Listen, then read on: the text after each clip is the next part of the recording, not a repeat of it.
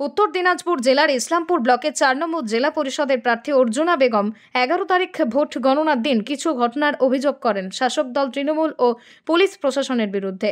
তিনি জানান, এগারো তারিখ ভোট গণনার দিন আমাকে যেভাবে হারানো হয়েছে সবই ষড়যন্ত্র। দাবি করেন, চার নম্বর জেলা পরিষদ প্রার্থী অর্জুনা বেগম। চলুন, শুনে নেওয়া যাক গণনার দিনের ঘটনা সম্পর্কে কি বলছেন। সমস্ত দাবি খণ্ডন করেছেন ইসলামপুর ব্লক সভাপতি জাকির হোসেন। ভোট গণনার পরিপ্রেক্ষিতে আমি এটাই বলতে চাই যে এইভাবে ছক কষিয়ে র্যাগিং করে চার নম্বর আসনকে জেতার জন্য এই যে মর্মা মর্মান্তিক একটা দুঃখজনক ঘটনা করেছে ওরা, এটা একদম খুব খারাপ করেছে। আরে ভাই, জিততে হলে এমনি তুমি জিতাও না, যেভাবে জনগণ ভোট করেছে, ওইভাবে যেটা রায় দিত জনগণ দুজন, ওইভাবেই আমরা জিততাম। একজনের হার জিত, এটা তো আছেই, কিন্তু ওরা এইভাবে ছক কষিয়ে র্যাগিং করে একজন চোপড়ার বিধায়কের উপর লাঠি চার্জ করিয়ে ওনারা এভাবে জিতলেন। এটা জিত না, এটা ওদের একদম বড় ধরনের হার। কারণ আমার চারটা অঞ্চল আছে, চারটার মধ্যে দুটা ইসলামপুর ব্লক ব্লকের আন্ডারে পড়ে বিধানসভা আর দুটা চোপড়ার পড়ে রামগঞ্জ ওয়ান টু পড়ে ইসলামপুর বিধানসভার আন্ডারে আর সুজালি গোবিন্দপুর পড়ে চোপড়ার আন্ডারে দুটা অঞ্চল আমার দু দুটা বিধানসভায় পড়ে। তো চোপড়ারও বিধায়ক থাকতে পারেন এবং ইসলামপুরেরও বিধায়ক থাকতে পারেন। ওরা ইসলাম ইসলামপুরের DS DSP Kartik Mandal Islampur police এবং এডিএম সঞ্জয় হালুয়াদার, উত্তর দিনাজপুর বিডিও ইসলামপুর এবং ম্যাজিস্ট্রেট ইসলামপুর আর হারিকুল ইসলাম। এরা পুরোভাবে জিনিসটাকে সেটিং করে এমএলএ সাহেবের উপর লাঠি চার্জ করালো এবং এমএলএ সাহেবকে নিজে ডিএসপি কার্তিক মণ্ডল নিজের হাত দিয়ে মেরে ওনাকে নাক মুখ ফেটিয়ে রক্ত বের করে দিয়েছে। জোর করে ঢোকার চেষ্টাও করেছিল সেটা প্রশাসন প্রতিহত করেছে। বলছে এইখানে আমাদের বার করানোর পিছনে এবং আমাদের হায়ারের পিছনে। ওর হারের পিছনে মানে ওর হারের পিছনে নিয়ে হার নির্দলে আবার ও জিতবে নাকি? আপনার কথা হলো? দশ হাজার ভোট পেয়েছে ও। ওর হারের পিছনে যখন দুটা চারটা ভোটে হারে কেউ দুশো চারশো ভোটে হারে তাহলে কাউকে ব্লেম করতে পারে। ও দশ হাজার ভোটে হেরেছে তিনি স্যার আরেকটা দাবি করেন লাস্টে বলছিল তিনি বিভিন্ন জায়গায় যতটা পোলিং হয়েছিল তার থেকে বেশি ভোটে ব্যালট পেপার বার হচ্ছে তখন তো তখনই অবজেকশন দেওয়া উচিত ছিল। পরে কিসের জন্য? একটা বাক্সে তার কাছে তো কাগজ ছিল। এত নম্বর বুথ পোলিং কত ব্যালট পোলিং ব্যালট হতো টোটাল ব্যালট হতো। ওটা মিলানোর পরে তো কাউন্টিং শুরু হয়েছে।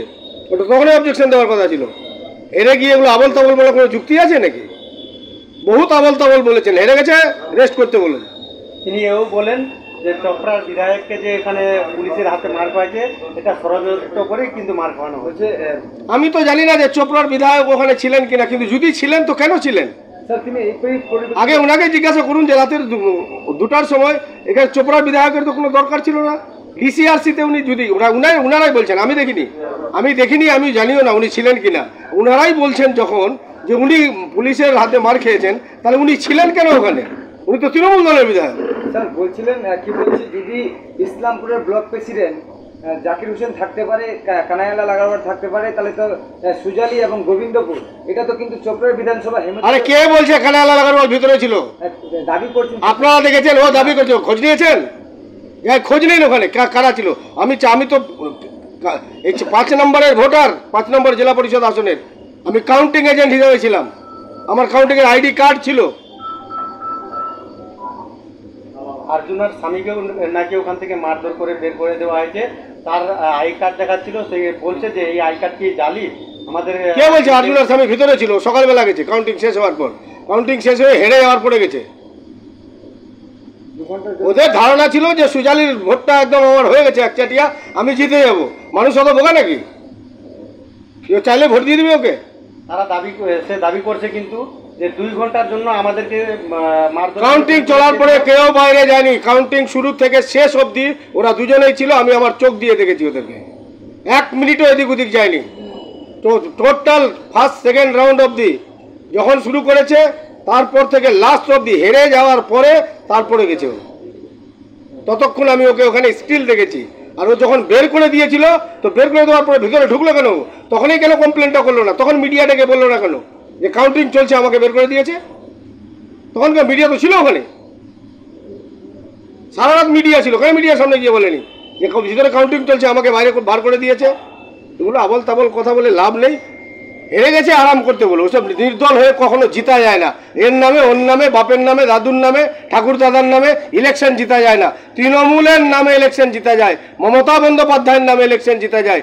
অভিষেক বন্দ্যোপাধ্যায়ের নামে ইলেকশন জিতা যায়। তৃণমূলের উন্নয়নের নামে ইলেকশন জিতা যায়। কোনো ব্যক্তির নামে ইলেকশন জিতা যায় না। তিনি আরও বলেন যে আমরা নির্বাচন কমিশনের দাবি কমপ্লেন করব এমনকি সেটা তার ফান্ডামেন্টাল রাইট আছে করতেই পারে। যে কোনো সময় করুক অসুবিধা নেই।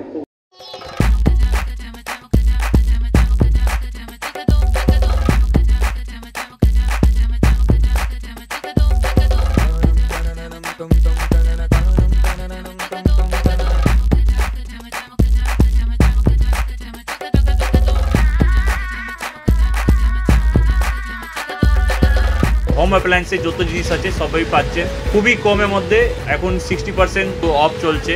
নয়ারটি গৌরীপুর চৌমাথা এটা পড়ছে কেসি লাইট হাউস আছে। কি ভাবছেন? ফ্যামিলি নিয়ে কোথায় রসনা তৃপ্তি করবেন? আর চিন্তা নেই।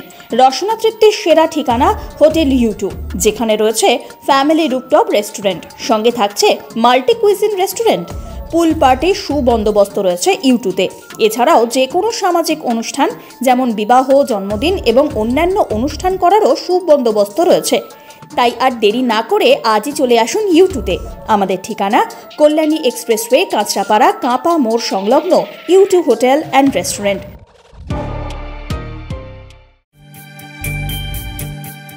কিরে, তোদের হলো?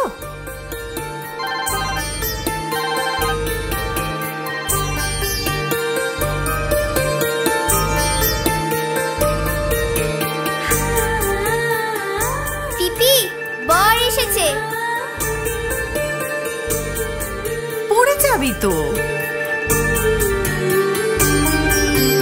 আমার বিয়ে আমার বেনারসি। একটা নতুন গল্প